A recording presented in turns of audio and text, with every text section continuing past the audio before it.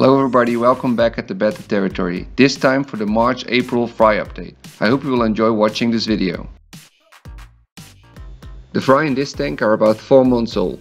They are the result of a cross between a Cambodian-based red half moon plakat male and a Cambodian-based yellow half moon plakat female. Both are half siblings. They share the same yellow father.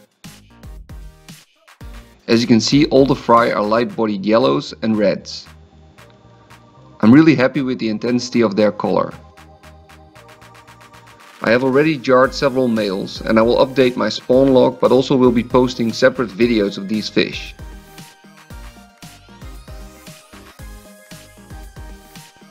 The fry you see here are also about 4 months old. They are F2 fry which are the result of a cross between two siblings which descend from a cross between a candy koi plakat male and a dark body red female from my own line. There are light and dark bodied fish in this spawn, varying from multicolor to orange. Several fish already started to marble and lost all their colors. It will be very interesting to see how their color pattern will develop as they mature. Several fish already have been jarred from this spawn. These fry are the result of an experimental cross I made with two big sized fish I found in my local aquarium store. The male had a body size of about 5.5 centimeters, whereas the female had a body size of about 4.5 to 5 centimeters. So far these fry are developing at a similar growth rate as all of my other spawns. It will be interesting to see if any of these fish will turn out bigger than the fish in my regular spawns. Although all fish started as multicolors, several fish already have lost their color and now start to get koi-like patterns. The fry in the following two tanks are about 3 months old. They are the result of a cross between a candy koi half moon plakat male, which I purchased from my local aquarium shop, which was crossed to a female from my own line. The female I used here is the result of a cross between a candy koi half moon plakat male and a dark body red female. She is therefore carrying the candy koi pattern. As you can see many of the fry are actually dark bodied, but several of them already started to marble.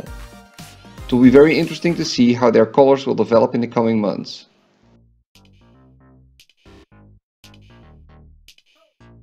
This tank only holds 12 fry of about 2 months old. They are from two different spawns. 8 fry are the result from a cross between a candy koi plakat male which was outcrossed to a koi plakat female from Luca Derman from Germany. 4 fry are reds and these are the result of a cross between a dark body red plakat male and a Cambodian based yellow half moon plakat female. As both spawns were very small, I decided to respawn both pairs.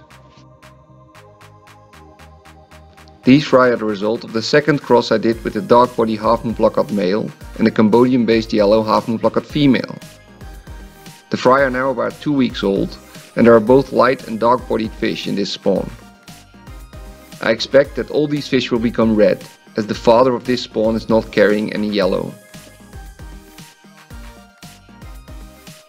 The last tank I want to show you holds the fry of the second spawn I did with the Candy Koi Half Moon Plakat male from my own line, which was outcrossed to the Koi Half Moon Plakat female from Luca Derman from Germany. The fry are now about 2 weeks old and this again was a very small spawn, with only 10 to 15 fry. However, these fry are very valuable for my breeding program and I'm very curious to see how they will develop. Thank you for watching. In order to stay tuned, please subscribe to my channel.